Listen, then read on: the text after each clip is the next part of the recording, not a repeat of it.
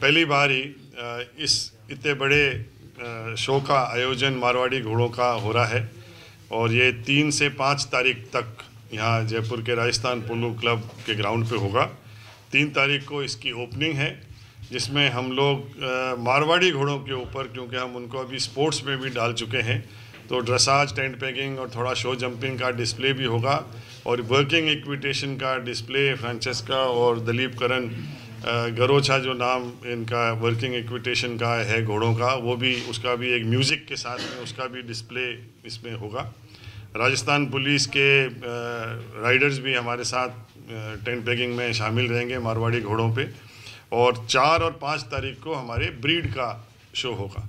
चार तारीख को हम बच्चे जो हैं छोटे, एक साल से लेके दो साल, और फिर उसके मेल, फीमेल, और लंच के बाद में जो कोल्ट हैं, जो दो से चार साल के, उनका मेल और फीमेल का कंपटीशन होगा रिंग के अंदर। वो अपना डिस्प्ले करेंगे जजेस उसका फैसला करेंगे, और उसके बाद में पाँच तारीख को सुबह हमारा जो होगा, वो होगा स्टेलियंस और घोड़ियों का मेयर का, और साथ साथ उसके डिस्प्ले और लंच के बाद में हमारा क्लोजिंग सेरेमनी होगा।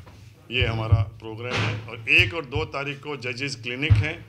उस जजेस क्लिनिक के अंदर जो भी जज बनना चाहते हैं, उनको एग्जामिनेशन देना पड़ेगा प्रैक्टिकल और रिटर्न और जो सिर्फ़ अटेंड ही करना चाह रहे हैं जज बनने के लिए नहीं बट वो कॉन्फर्मेशन समझना चाह रहे हैं, सीखना चाह रहे हैं, वो सेमिनार अटेंड उसमें एक और दो तारीख को कर सकते हैं। सबसे पहले तो मैं ये क्लैरिफाई करूँ कि वो हमने इंट्रोड्यूस नहीं किए। वो हमारे पहले से दो तीन सोसाइटी यहाँ पे चल रही हैं। एक तो इंडिजनस हाउस सोसाइटी जो ये शो करते हैं और एक और सोसाइटी है। दोनों सोसाइटियाँ सोसाइटीज़ वो चिप को अपने अपने रजिस्टर्ड हॉर्सेज में लगा रही हैं। इनका फ़ंक्शन ये होता है कि वो एक डिजिटल चिप है। वो उनके गर्दन पे यहाँ पे इंजेक्ट कर देते हैं थ्रू क्वालिफाइड वेट वो उसकी आइडेंटिटी बन जाता है उसका एक पार्टिकुलर कोड होता है वो नंबर होता है। Whenever you apply a microchip reader that displays the number of that code so you know that this is that particular horse only उसके हिसाब से फिर उनकी uh, सारी कुछ होगी। मेडिकल के रिकॉर्ड्स रखेंगे आप उनकी पेरेंटल डीएनए वगैरह अगर हो रखा है वो कहाँ पे है? कुछ कभी अगर सरकार ने डिज़ीज़ ये किया कुछ सर्वे किया तो उसका पता करने में सरकार को भी आसानी होगी। तो it is a progressive thing अभी it has started for some time later on इसके जो बड़े बड़े इफेक्ट्स हैं वो देखने को मिलेंगे। इसके आगे क्या कुछ और फ़ायदे हो सकते हैं? जी हाँ इसके फ़ायदे सबसे पहली बात तो ये है कि it will help you in knowing how many horses are there कहाँ पे हैं कैसे हैं, किस ब्रीड के हैं। तो वो चीज़ जब तक ये चिप आने से बहुत आसान हो जाता है लोगों के लिए जानना। तो सरकार के लिए भी आसान हो जाता है क्योंकि सरकार के पास अभी भी ऑथेंटिक सेंसस डेटा नहीं है। लेकिन जब ये चिप भविष्य में जब सारे घोड़ों को लग जाएगा तो फिर एकदम ईजी हो जाएगा फिंगर टिप्स पे होगा। तो किसी को ज़्यादा परेशान होने की ज़रूरत नहीं रहेगी। प्लस यदि कभी बीच बीच में कई बीमारियाँ आती रहती हैं, उनके साथ भी जब अभी जैसे किसी घोड़े का हुआ, वो डॉक्टर के पास गया उसने इलाज करवा लिया लेकिन वो उसको कैसे आइडेंटिफाई करेंगे कि कौन सा हॉर्स था? लेकिन जब वो चिप होगी ना सबके पास तो वो बहुत इजीली आइडेंटिफाई हो जाएगा और फिर वो डिज़ीज़ मोनिटरिंग में बहुत काम आएगा। जी। देवेश कुमार सिंह। मैं horse for you M dot com नाम की वेबसाइट चलाता हूँ ये घोड़ों के लिए है। इसमें अभी तक क्या है कि कोई भी ऐसा डिजिटल प्लेटफॉर्म नहीं है जो कि यूनिफॉर्मली ऑर्गेनाइज्ड वे में घोड़ों की दुनिया को एक क्लासीफाइड ढंग से दिखाने का काम करे। इसमें घोड़ों का भी क्लासीफाइड इन्फॉर्मेशन है जितने शोज़ हैं शोज़ की भी क्लासीफाइड इन्फॉर्मेशन हमने शुरू की है, क्योंकि अभी तक आपने देखा होगा कि कहीं भी आज तक जितने शोज़ हुए हैं, उनकी क्लासीफाइड इन्फॉर्मेशन आपको कहीं भी नहीं मिलेगी, किसी भी प्लेटफॉर्म पे।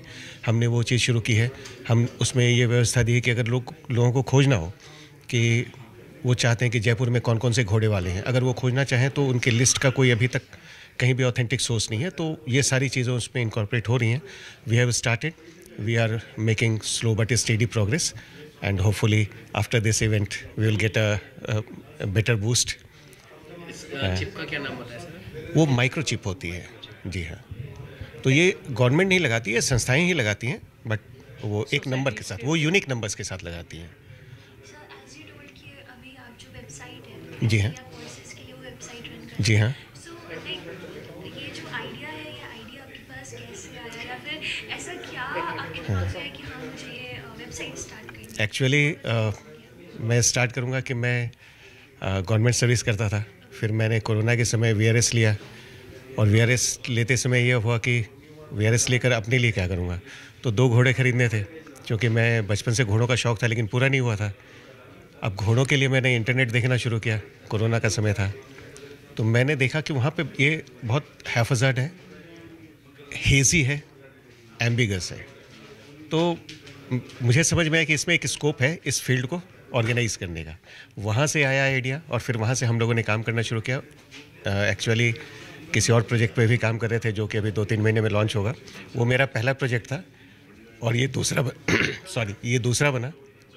इसको तो हमने पहले लॉन्च कर दिया है। जो पहला प्रोजेक्ट है, वो अब लॉन्च होगा। तो ये घोड़ों का है, वो डेमोक्रेसी का है। तो वो भी अभी एक दो महीने में हमारा लॉन्च होगा। तो ये सब वहीं से घोड़े रखने हैं इस शौक के वजह से। मार्केट को देखा मार्केट को देखा तो समझ में आया कि ऐसी चीज़ की आवश्यकता है। तो फिर हमने ऐसा एक प्लेटफॉर्म तैयार कर दिया। Thank you ji thank you देश और दुनिया की हर बड़ी खबर के लिए सब्सक्राइब करें नवतेज टीवी और पल पल के अपडेट्स के लिए बेल आइकन को दबाना ना भूलें। क्योंकि आपकी खबरों का भरोसेमंद साथी है नवतेज टीवी